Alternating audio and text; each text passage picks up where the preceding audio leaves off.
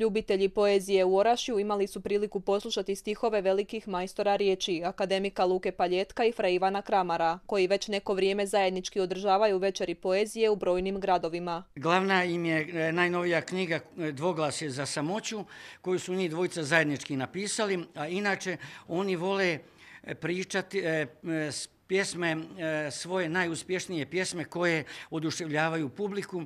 Oni vole e, i svi svoji, e, svi svoji zbirki da naglašavaju i da čitaju. Akademik Luko Paljetak već se zna, napisao je toliko knjiga da ne može na jednu cijelu stranicu stati sve njegove knjige, niti on zna koje sve nagrade dobio, čuo sam malo prije od njega, tako da se radi o jednom enormnom čovjeku za hrvatsku kulturu. Uz spomenutu dvoglasje za samoću, pjesnici su čitali stihove iz još nekoliko svojih novih zbirki pjesama. Obojica su istaknuli značaj lijepe pisane riječi u današnjem vremenu. E, ljudi su se ili odvikli ili su ih privukli drugčiji mediji, znate.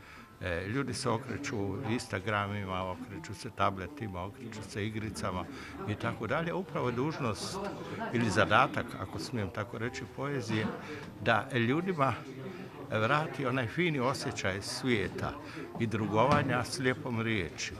E, dakle, nije sve samo slika, nije sve samo skraćena neka riječ, nego je e, poezija puno dublja nego i puno važnija nego danas izgleda. Jer poezija oplemenjuje i zbližava.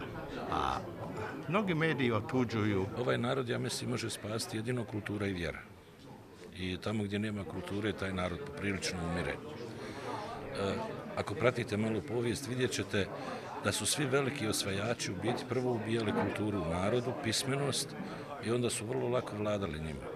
Zato je kultura vrlo bitna i potrebna je repoetizacija hrvatskog društva. Jer pjesma je nešto što je vječno. Mi se sjećamo mnogih pjesnika, njihovih imena, a oni koji su pisali prozu samo ako su ostavili poseban trag, njih se sjećamo, ovi drugih slabo. Nakon Orašja, akademik Luko Paljetak i Fra Ivan Kramar svoju turneju nastavljaju u Lukavcu.